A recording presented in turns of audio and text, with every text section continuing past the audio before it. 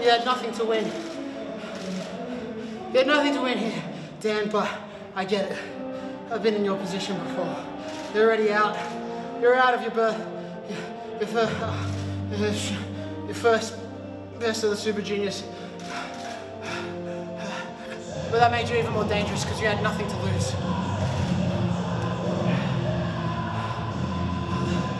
Should have been my two points.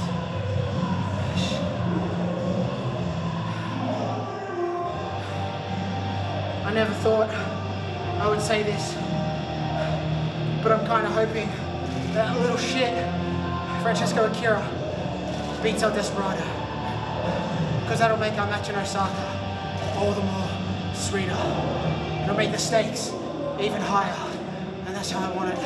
I want it to be the highest possible stakes. Because it's not worth it to me if it's not a big match. That's why I make every match as big as it can be. I put everything I have into each match. I put my body on the line every single time. I know that's cliche to say, but no one does it like I do. I will fight, I will fight, I will fight. And Moloney, you underestimated me, but you felt the Lim Reaper firsthand today.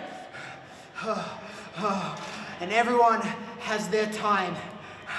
Desperado, you get a few extra days before your time is up. So it won't be a man in a cloak with a sickle by his side. It'll be the sniper of the skies with Ichiban Sweet Boy by my side. And I'm gonna walk away with two more points. Secure my place in the semi-finals. And with your leg over my shoulder. Ah, the body will not kneel! What I told you goofy fuckers in the last match. What did I say? I said, you can see me down, but you're never gonna see me out. You know, Robbie Loki had that coming. Been pissing me off.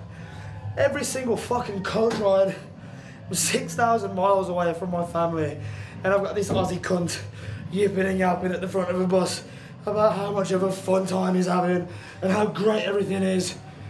How great is it now, Rob? Huh? Bubba the Super Junior? How fucking great is it now? I did a signing earlier for this company. You know the word that came out of everybody's mouth? Even the Western fans. Ah, boo, nay. That means dangerous. Fucking dangerous.